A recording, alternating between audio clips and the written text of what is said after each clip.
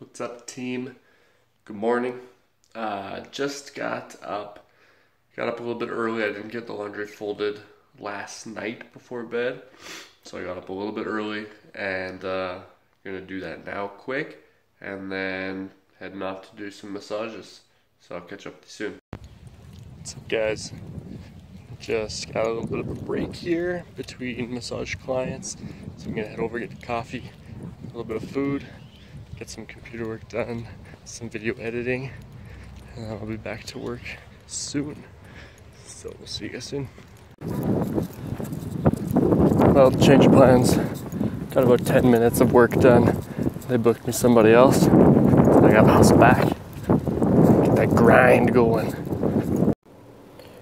What's up, team? Finally got a good dent in that computer work. Um, couple hours just crushing work there and then I, uh, I had a meet up with a potential client, somebody who's interested in starting personal training. Um, I love those meetings because I love hearing about people's motivations, what's driving them, because um, it's so important. And that's that's the thing. If you're somebody who's who's just starting out a program or who's trying to make a change, whether it be fitness, whether it be quitting smoking or something, you know find that that reason why you want to start the the thing that got you there's always one thing that that maybe a big thing and it turns you. It's it flips a switch to make you say i got to change this. I got to do something to make a change. Hold on to that as tight as you can because it's going to be a tough journey no matter what it is. Change is tough but if you can just hold on to that that that reason that you have that why that's the most important thing. Keep all right, guys, super rushed getting out the door. I did get dinner in, uh, ate it real quick, and I just pulled up to boot camp. So, gonna go and help these guys. Uh, um, looking forward to tonight's boot camp, and uh, touch base with you guys after.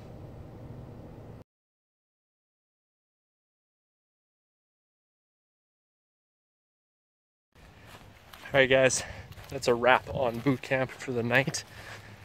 It's a good class these guys have fun when they're out here, and that's what it's really all about. Um, just having fun and uh, getting a good sweat while you do it. Um, gonna go home now, probably have a little snack, and uh, gotta get that vlog post posted so you guys get that daily vlog action. See you soon. What's up, guys? Uh, it was a good day. Um, thank you so much for watching. I really appreciate you guys watching and supporting me and helping me help everybody else. Uh, it means means the world to me. You know, I don't have fancy cameras. I don't. I do all the editing myself. Um, I do all the filming myself, except for when my wife is holding the camera, like she is right now. Um, she's super supportive to me, but I just I really really want to let you guys know that I do support you, even though I got none of the bells and whistles. I'm still trying to put out good content for you guys and uh, just every time I see there's more views, more likes, more subscribers, it just means the world to me. So look forward to keeping these up and uh, thanks so much for watching. Love you guys.